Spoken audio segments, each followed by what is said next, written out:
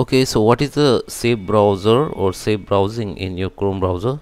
So today in this video tutorial i'm going to show up uh, i'm going to uh, show you where you, can uh, find the settings of this uh, safe browsing and what is the safe browsing and what can be effect uh, on your effect this on your browser. So guys let's start with the video. Before we start i request you if you like this video hit the like button subscribe my channel and don't forget comments below. So let me the start with the video okay so let me open my chrome browser here. Okay so guys process is process is the same for the all device if you're using the android phone or ios phone so you can follow the same steps. Okay so let just open your browser and first you have to check whether your chrome browser up to date or not. So how you can check it? You need to just click on this three dot option here. Go to the help go to the about chrome browser and here you can see if your chrome browser up to date or not whether your computer browser chrome browser up to date or not. If it is not up to date it will be start updating automatically. And after update you need to relaunch your chrome browser. Okay after relaunch just reopen it. Now just click on this three dot option and go to the settings. If you're using the mobile phone or any other device you need to go in settings only.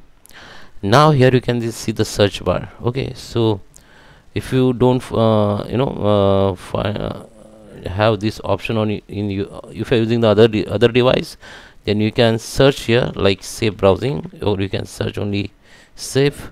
Then you can see here the safe browsing option under the security uh, you know tab. If you're using window then uh, just follow the steps. Go to the privacy and security here. Now go to the security and here you can see the option called safe browsing. Okay. So there is a three option which which first one enhanced protection uh, standard protection and no protection. Okay.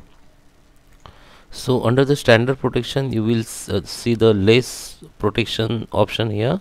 Like it is detect and warns about the dangerous event when you happen. Check url with list. Okay. So there is a minimum option that you can use standard protection but if you want to use the enhance if you want to you know, use more protection on your browser then you can click on this option enhance protection. And here you can read everything and you will see what kind of protection you will have after this enhance protection. So just select the protection uh, out of these two enhance or standard.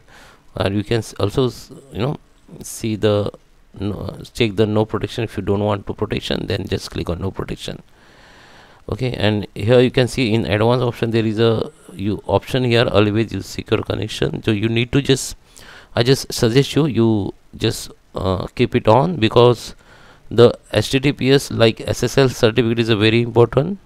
Okay so uh, uh, for every website so your browser will be only open http ssl certificate or website. Just keep it on okay and there is a use security DNS if you want you can use and there is a managed uh, there deep like advanced setting you can use. Okay so just select this just come back.